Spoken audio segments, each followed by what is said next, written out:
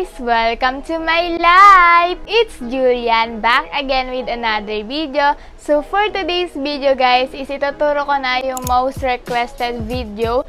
So ituturo ko sa inyo kung paano gumawa ng customized keychain. Kung gusto nyo malaman at magkaroon kayo ng idea at pwede nyo to maging small business. So just keep on watching!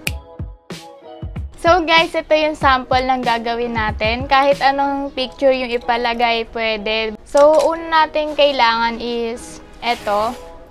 Wait, medyo madumi pa siya. That's the reality. so, ito siya. So, in-order ko na to from Shopee. So, ilalagay ko yung link sa description box. Pero meron din siya sa mga palengke, sa physical store, or depende kung saan kayo makakita. So, ito. Ang size nito is rectangle. Ayan, ganyan siya.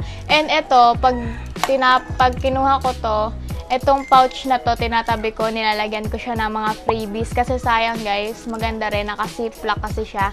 So, ganito yung itsura niya. Ayan.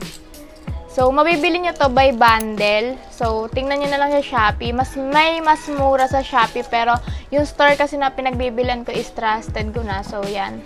And una, magpiprint muna tayo ng picture. Pupunta tayo sa computer or laptop para mag-layout. So, yan guys. I hope nakikita nyo siya ng maayos. So, pupunta lang kayo sa Microsoft Word. So, sa Microsoft Word ako nag-edit. So, pupunta kayo dito sa Insert, dito. And doon yung kunin yung picture. I-save nyo muna syempre. So, kuha tayo sa pre-debut ko. Hanap lang naman ako ng waste mas okay. Sandali lang guys. Pagbigyan nyo na ako. So, yan guys. Kunyari, iyan yung pinaka-picture. So, ang size dito nyo makikita, ito. Nakikita nyo ba yung tinuturo ng mouse? Ayan. So, kukuha ko ng mga picture dito. Sa mga keychain na nagawa ko na dati. Ganito ginagawa ko guys. So, ikakopy kong ganyan. Tapos, ipe-paste ko. And then, tsaka ko siya susukatin. Zoom natin. Yan, di ba ganyan guys. Tapos, ngayon, tsaka ko siya ikakrap. And i-crop mo ganyan. Sundan nyo lang yung picture na pinagagayahan. So, yan guys. Mas makikita nyo na. Ito guys. Mas makikita nyo na. Ayan ang size niya guys ha. Tandaan nyo. Ganyan makikita nyo sa Word. 1.91 and 1.31. So, yan yung ginagamit kong size sa keychain na yon. And ganito yung pagpiprint. Ganito yung setting ng pagpiprint. Ituturo ko na rin sa inyo. So, ngayon sa printing na tayo. So, Control P for shortcut sa printer.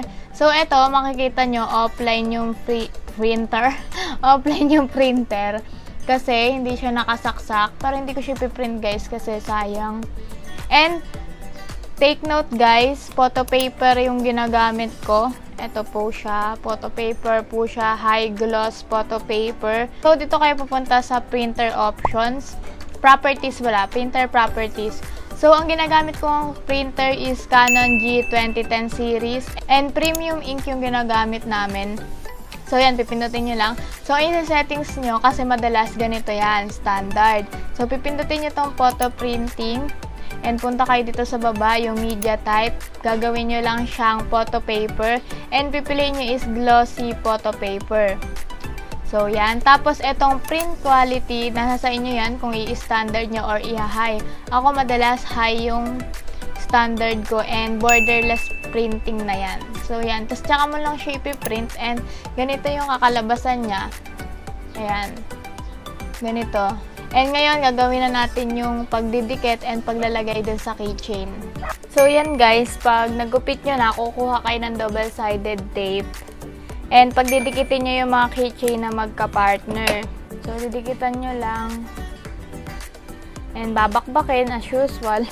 Tapos, pag didikitin nyo lang. So, titingnan nyo din guys kung ano yung maganda. Nasa sa inyo yan. Ilagay nyo yung sarili nyo as customer kung saan kayo mas magagandahan. Yan. So, kukunin na natin to. Itong acrylic keychain. Photo insert acrylic keychain. Yan. So, yan guys. Ilalagay nyo na yung picture. So, yan. Nakalagay na siya. And ganito yung tamang pagsasara para hindi kayo mahirapan and hindi kayo magaya sa akin na napakarami kong nabasag sis. Ayan. Lahat yan, nabasag ko. Marami akong nabasag guys, so nag start pa lang ako kasi hindi nga ako sanay. So, may share ko sa inyo experience ko. So, may makikita kayo dito sa keychain.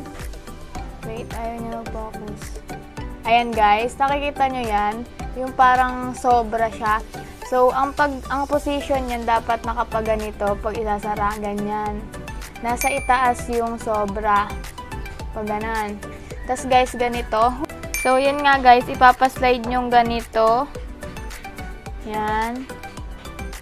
And, dun. Tsaka siya masasarap pagdating dito sa dulo. And may mararamdaman naman kayo na parang nag-lock na siya, ganun. So, yan. Ganyan lang, guys. Wala nang, walang kahirap-hirap. And, tinatry ko kung matatanggal siya o hindi. Ginaganto talaga, guys. At pinupukpok ko. So, hindi naman siya natatanggal. So, ganun lang kadali, guys. Yung paggawa ng customize photo sa keychain. So, next time guys, ito ituturo ko sa inyo kung paano ko to ginagawa, yung may dried flower. So, comment down below kung gusto niyo rin malaman kung paano to gawin.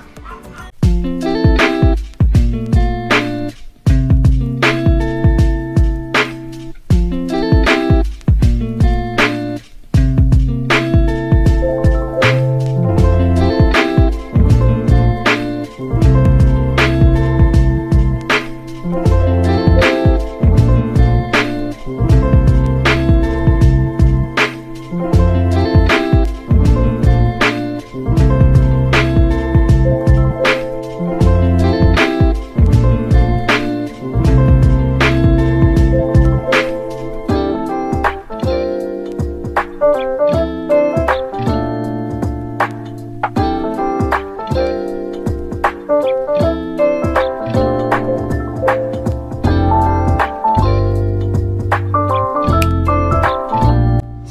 gusto ko lang i-share sa video na to yung bago kong item na kakapost ko lang sa Shopee account ko. So, ito nga yun. Yung mga sticker guys. Waterproof sila 100%. So, may 5 akong design as of now. So, ilalagay ko yung link sa description box. At yung first 10 na order is may free na scrunchie. So, add to cart na kayo guys. And sobrang mura lang nito. 25 pesos lang per per pack and 12 pieces na yung nasa loob. So, ang ganda nito guys, promise. Tignan nyo naman yung quality. So, hindi, hindi talaga kayo magsisisi. So, check nyo yung description box. Nandun yung link. So, yun lang guys. Stay safe. Yun guys. Yun lang naman yung video na to. At kung may natutunan ka sa video na to, please leave a like, share, and comment down below for any suggestion and any clarification for this video. At huwag nyo kakalimutan mag-subscribe and hit the notification bell para makita nyo yung pagmumukha ko sa mga susunod kong video. Thank you, thank you for watching guys. See you on my next one. Bye-bye!